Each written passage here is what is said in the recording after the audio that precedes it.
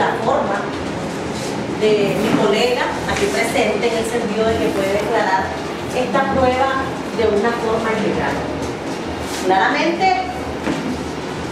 mi intercambio de información y prueba dice cuál fue el objeto de venir a, a declarar y estar sentado el doctor ahí, en, el, en el estrado.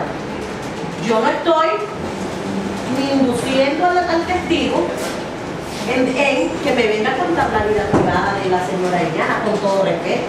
Uno, porque soy mujer.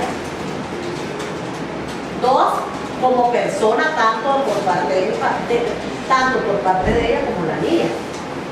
Entonces, si bien es cierto, dice, dice que, eh, es dentro del Código Procesal Penal sobre la abstención, usted este, se le va a preguntar al doctor si puede abstenerse a continuar declarar o si a, declarar, perdón, o puede continuar declarando.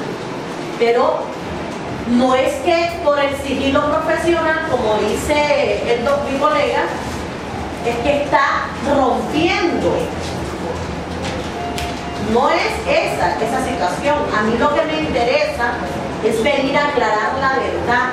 Y cuál es, cuál, simplemente lo que yo quiero es que diga si fue valorada. No le estoy preguntando, ni le estoy haciendo preguntas íntimas como la valoró, que es lo que le hizo, como la, con todo respeto, como la, cuando como la puso en el, en el consultorio, que si estaba sentada, si estaba. Eso no estoy preguntando. Simplemente estoy haciendo esa línea de preguntas para llegar más a lo que no